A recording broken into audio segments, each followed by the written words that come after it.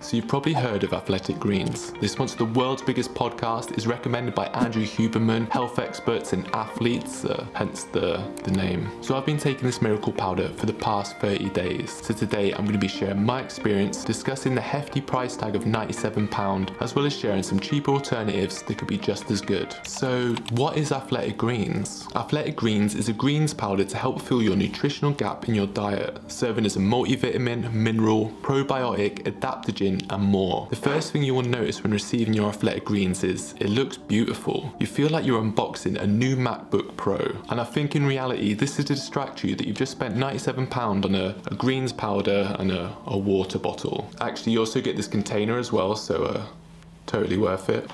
So when you see the massive list of 75 ingredients, it does sound amazing, but let's take a closer look and see if there's cheaper alternatives that are just as good. So on the website, they've broken the ingredients down into five categories. Vitamins, minerals, whole food source nutrients, probiotics, and adaptogens. So for the first two, we've got vitamins and minerals, which essentially could swap out for a multivitamin, which will set you back about five for a month. So next, we've got the whole food source nutrients. This includes your nutrient dense foods, such as apples, broccoli, carrots, carrots, pineapple, spinach. These you can obviously get from your diet. And then you also have your super greens, such as barley grass, wheatgrass, and spirulina. This you could also supplement yourself. I found a similar super greens powder online for about £5 a month. Next up we have probiotics, which are good for your gut health. I've seen some reviews online saying that taking AG1 helped relieve digestive and stomach issues, and the probiotics could be the reason. You can get probiotics from foods in your diet such as yogurt, kefir, kombucha, sauerkraut, miso, tempeh, kimchi, sourdough and some cheeses. Or if you don't like or consume any of these foods, you can get yourself a probiotic which work out about £1.70 a month. Finally, we have the adaptogens. I've tried many of these in the past myself before and the one I find most beneficial and I still take today is ashwagandha. And supplementing with ashwagandha will set you back about £5 a month, bringing the total to the alternatives I've suggested £16.70. Now I know what you're thinking, but AG1 has so many more ingredients than the ones you suggested. And you are right. However, the one thing that does concern me is they don't actually include how much of each ingredient is in AG1. This is supposedly to prevent another company just from copying the ingredients and creating a cheaper alternative. But just keep in mind that just because an ingredient is listed on a supplement doesn't essentially mean there is enough of that ingredient for it to be an effective dose. Companies do this to save money as well as make their product appear better by listing a lot more ingredients. Now I'm not saying Athletic Greens have done this, I'm just saying it's something to bear in mind when paying such an extortionate amount for something that is essentially just a glorified greens powder.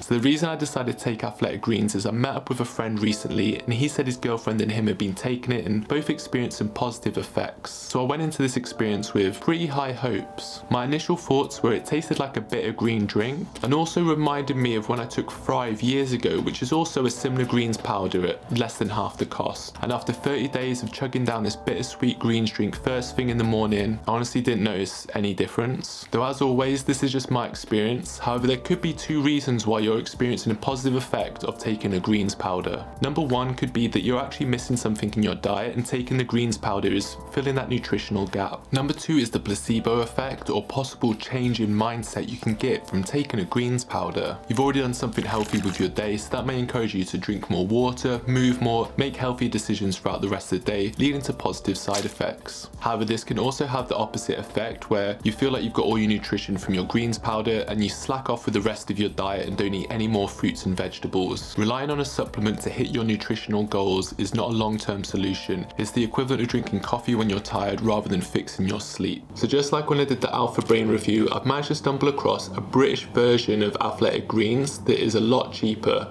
It's called Fuel 33 and it's about 30 pounds. It's just arrived, I haven't even tried it, so let's have a look. This is a greens powder with added vitamins and minerals and all the ingredients are organic. They've even listed the amount on the package, although I'm now realising that I don't know what the recommended amount or effective doses are, but it's encouraging to know that they're confident enough to put them on the package. So just like AG1, this contains vitamins, minerals, super greens, as well as one adaptogen, chlorella. Chlorella is a type of algae, has similar effects to spirulina, and also helps relieve toxins and heavy metals from the body. The main difference between this and AG1, apart from it of course having a lot less ingredients, is it doesn't contain any probiotics. So you'd either have to get them from your diet or supplementation. However, one benefit of not having probiotics is it doesn't need to be stored in the fridge. So if fridge storage is an issue in your house, that is definitely something you need to keep in mind. Anyway, it'd be rude not to give this a, a quick taste test. Mother. Cheers. Oh, tastes like a bitter green drink.